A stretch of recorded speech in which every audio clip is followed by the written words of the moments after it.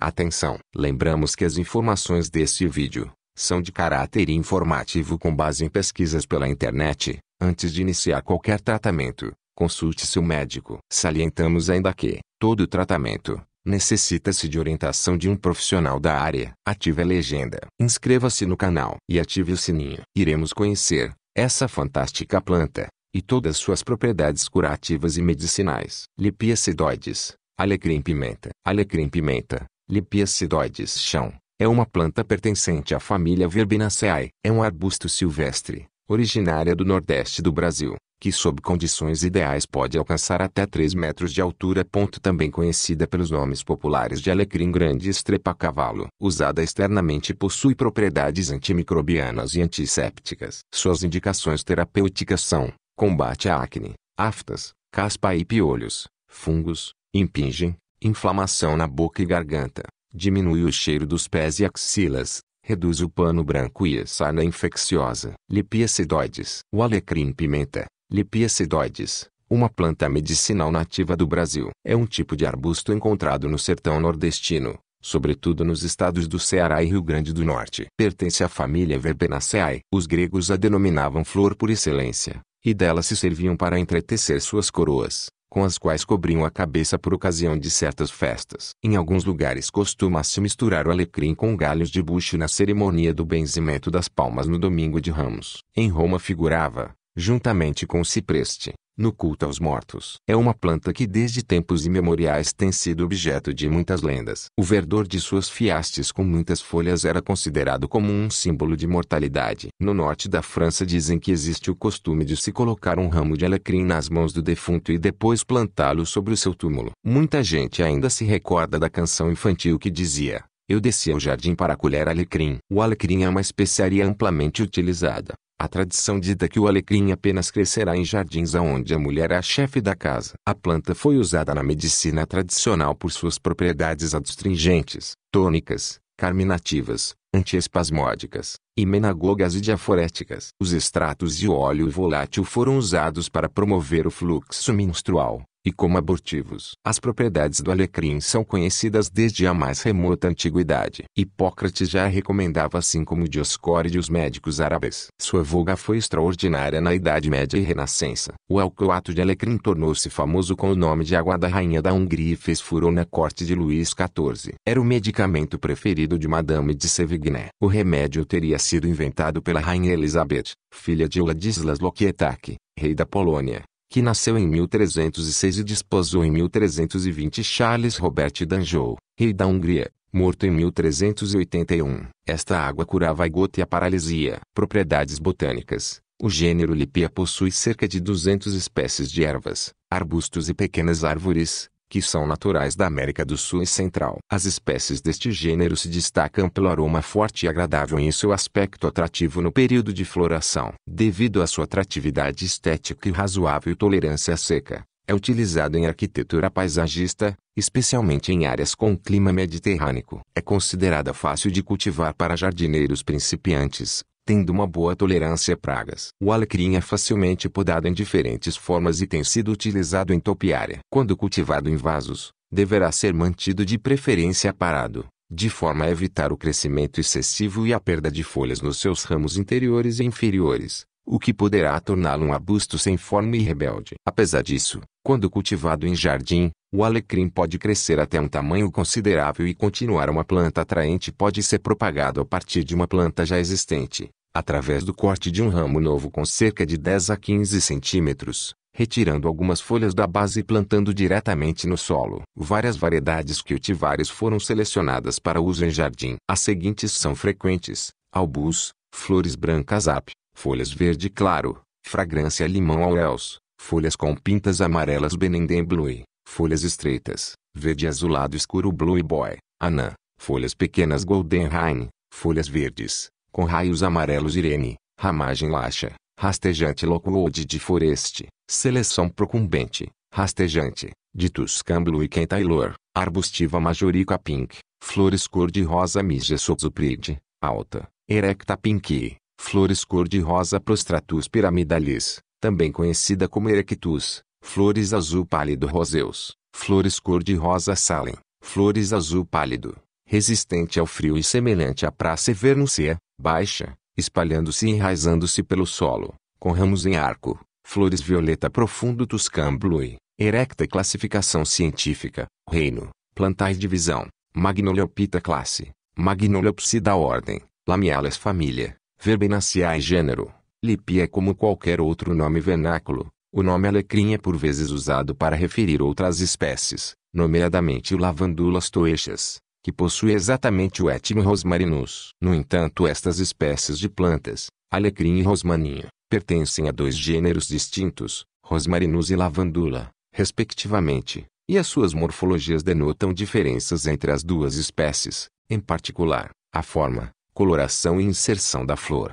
Classificação científica, reino, plantae filo, Magnoleopita classe, Magnoleopsida ordem, Lamiales família, Lamiaceae gênero, Rosmarinus espécie, R. officinalis nome binomial, Rosmarinus officinalis o alecrim, Rosmarinus officinalis, é um arbusto comum na região do Mediterrâneo ocorrendo dos 0 a 1500 metros de altitude, preferencialmente em solos de origem calcária. Devido ao seu aroma característico, os romanos designavam-no como Rosmarinus, que em latim significa orvalho do mar. Descrição: arbusto perene da família das labiadas, de numerosas folhas estreitas, duras e sempre verdes. Possui um intenso perfume nas folhas e nas flores que são azul claro. As folhas são duras, opostas, cesses, persistentes e numerosas, com borda enrolada para dentro ao longo da nervura central. As flores se apresentam em pequenos cachos na parte final e possuem coloração azul-violeta. Suas folhas são verdes em cima e brancas na parte inferior. Toda planta desprende um odor que se assemelha muito ao do incenso. O alecrim é uma das ervas mais conhecidas,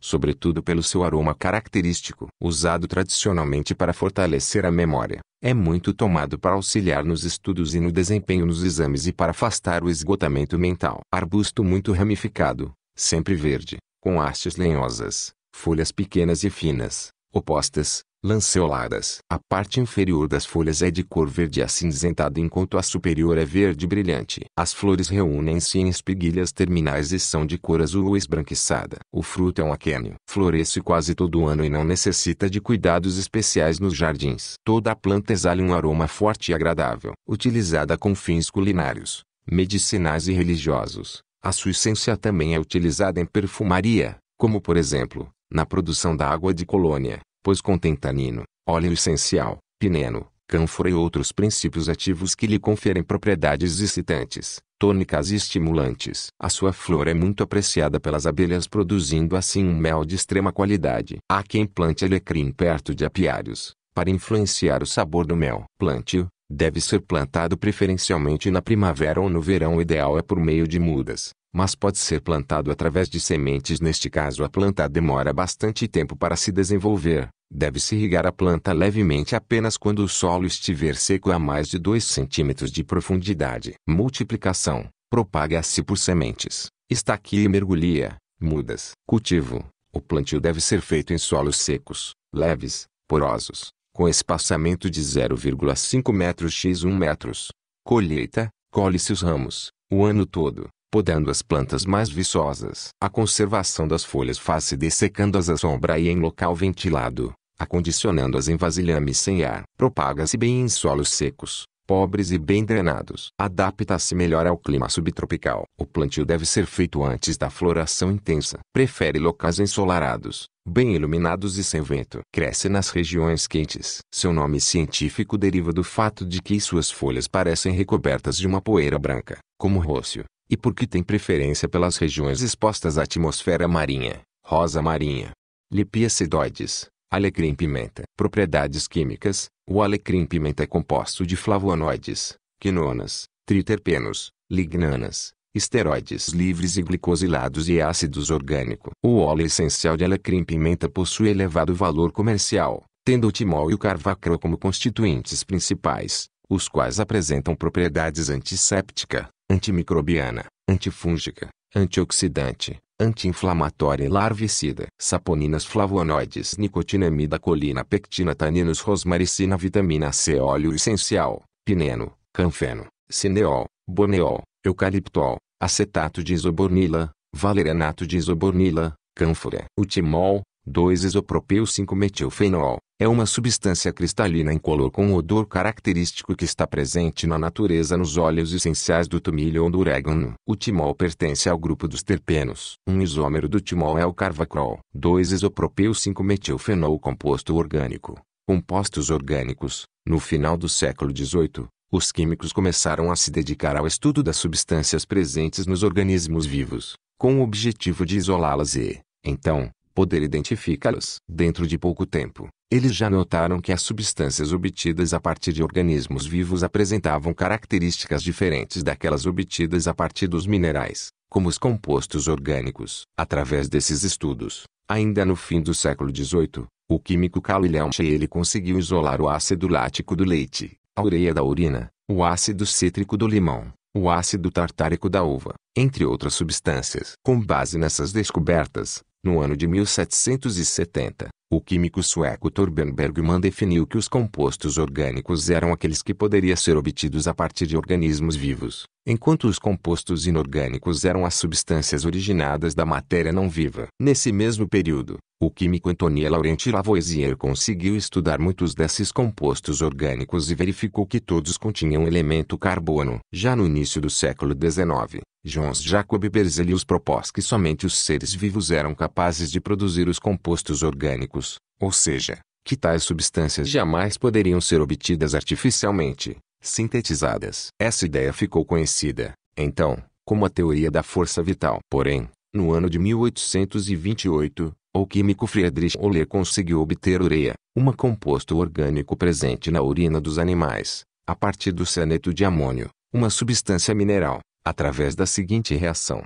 Depois da síntese de Oller, vários outros compostos orgânicos foram sintetizados e, então, os cientistas passaram a crer que qualquer substância química poderia ser obtida de forma artificial. Assim, a teoria da força vital caiu por terra definitivamente, e os compostos orgânicos passaram a ser definidos como os compostos do elemento carbono. No entanto, sabemos que existem alguns compostos inorgânicos que também apresentam carbono em sua composição, como, por exemplo, o diamante, o grafite, os carbonatos e o monóxido de carbono. Baseando-se nisso, chegamos à atual definição de composto orgânico. Compostos orgânicos são os compostos do elemento carbono com propriedades características. Além do carbono, os principais elementos que compõem a grande maioria das substâncias orgânicas são hidrogênio, H, oxigênio, U, nitrogênio, N, enxofre, S, e halogênios, Cl, BRI. O conjunto dos átomos de carbono com esses elementos dá origem a estruturas bastante estáveis,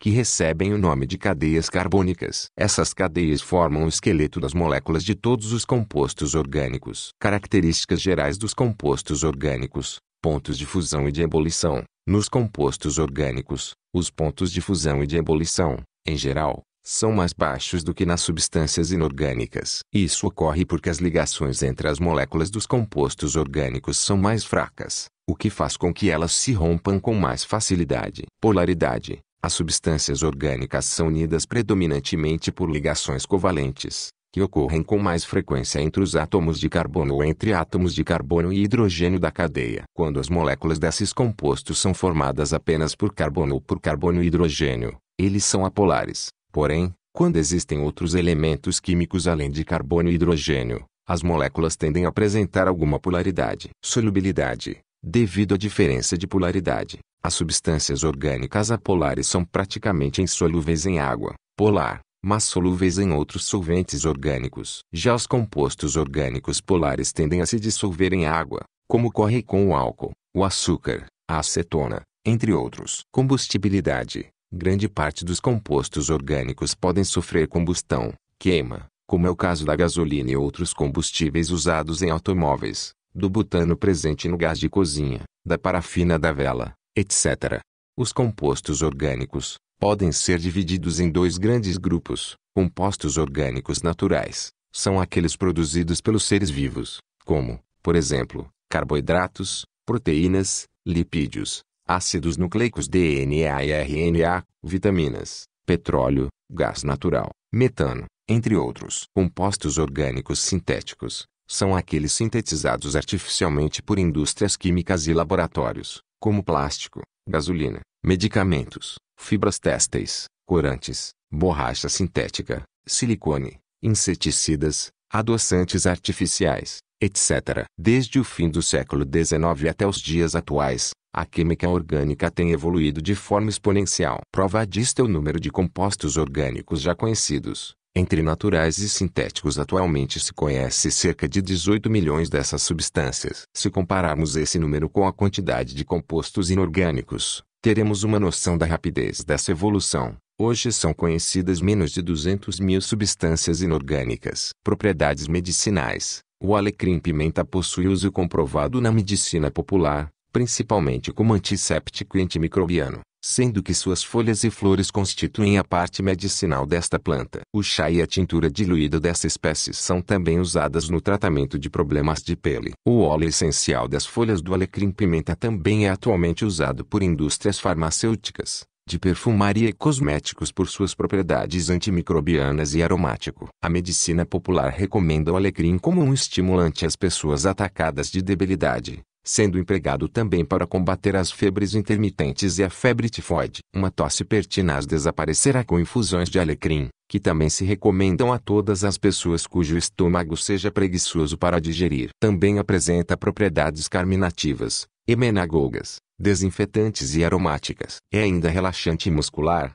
ativador da memória e fortalece os músculos do coração. Cientistas dizem que ramos de alecrim deveriam ser dependurados em oficinas e áreas onde crianças fazem tarefas escolares para um melhor funcionamento da memória. Testes com o extrato vegetal do alecrim-pimenta realizados pela Faculdade de Ciências Farmacêuticas de Ribeirão Preto, FCFRP, da UESP, indicaram que a planta apresenta atividade inibitória de crescimento da bactéria Listeria monocytogenes, associada à listeriose. A doença pode causar várias síndromes como infecções, gastroenterites, sendo bastante prejudicial em pacientes imunodeprimidos, e em crianças, idosos e gestantes, podendo causar abortos. A transmissão ocorre, principalmente por meio do consumo de alimentos contaminados. Dois produtos em forma de pó à base de alecrim-pimenta foram patenteados pela FCFRP da USP. Um dos produtos poderá ser usado em formulações de medicamentos e cosméticos, e o outro,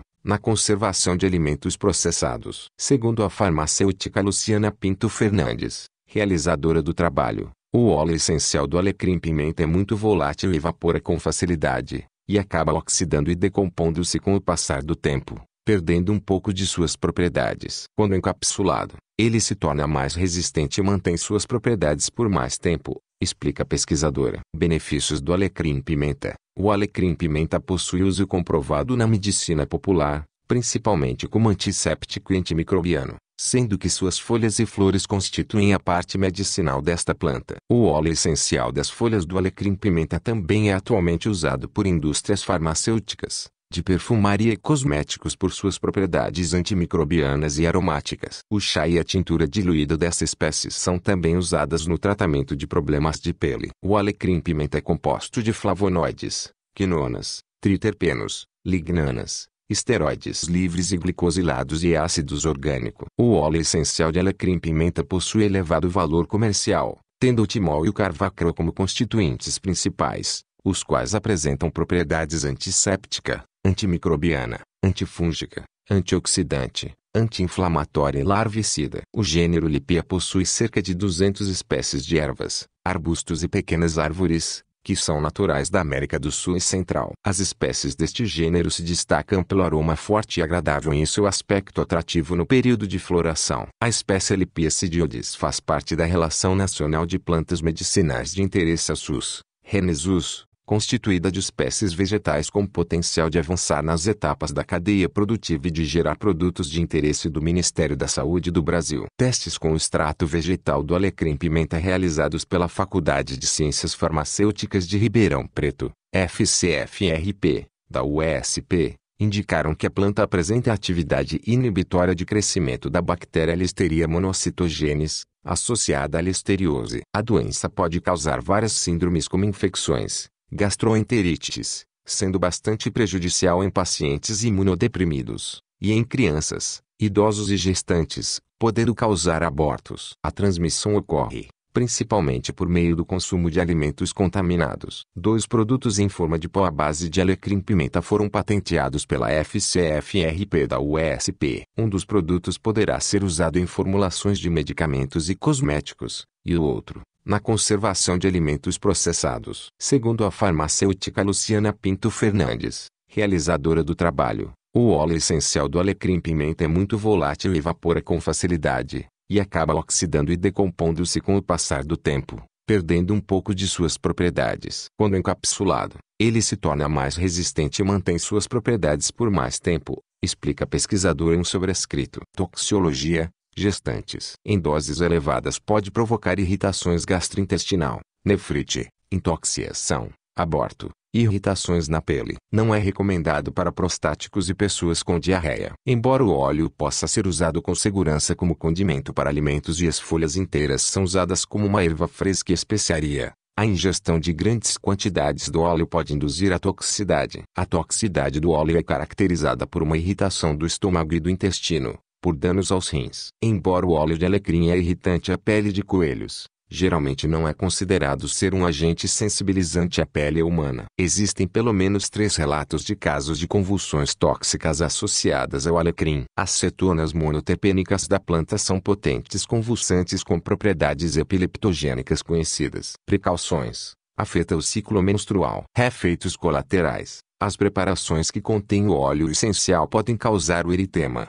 e produtos cosméticos podem causar a dermatite em indivíduos sensíveis. Um exemplo de asma ocupacional causado pelo alecrim foi relatado. Fotossensibilização em uso tópico. Superdosagem. Embora o óleo possa ser usado com segurança como condimento para alimentos, e as folhas inteiras são usadas como uma erva fresca e especiaria, a ingestão de grandes quantidades do óleo pode induzir a toxicidade. Parte utilizada: folhas, flores, óleo essencial. Outros usos: dores de cabeça, enxaqueca, esgotamento nervoso. O alecrim pode aliviar rapidamente dores de cabeça causadas pelo excesso de trabalho e pela tensão nervosa. Para dores de cabeça ligadas à tensão arterial, combine-o com tilha, tilha SPP. Também pode ser útil nas enxaquecas. Tonificante antioxidante. O alecrim estimula a digestão e o fluxo do sangue pelo corpo, sendo útil para quem tem baixos níveis de energia sobretudo se ligados à hipotensão ou falta de apetite, e bom para quem não consegue ficar forte após uma doença prolongada ou devido a má digestão e circulação. Para melhores resultados,